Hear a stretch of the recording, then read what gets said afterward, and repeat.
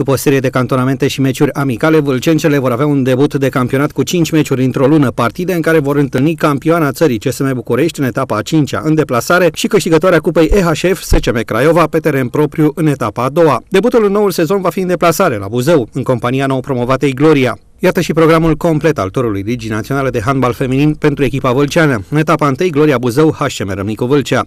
Etapa a doua, HCM Râmnicu Vâlcea, SCM Craiova. Etapa a treia, Mina Urbaia Mare, HCM Râmnicu Vâlcea.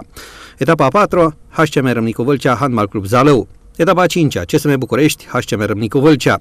În etapa a șasea, HCM Râmnicu Vâlcea, Danubius Galați, etapa a șaptea, Dunărea Brăila, HCM Râmnicu Vâlcea, etapa a opta, Corona Brașov, HCM Râmnicu Vâlcea, Etapa 9, HCM Râmnicu Vâlcea, CSM Roman, în etapa 10, Măgura Cisnădie, HCM Râmnicu Vâlcea, etapa 11, HCM Râmnicu Vâlcea, Universitatea Cluj, etapa 12, CSM Slatina, HCM Râmnicu Vâlcea, iar turul se va încheia cu etapa 13, HCM Râmnicu Vâlcea, CSM Bistrița.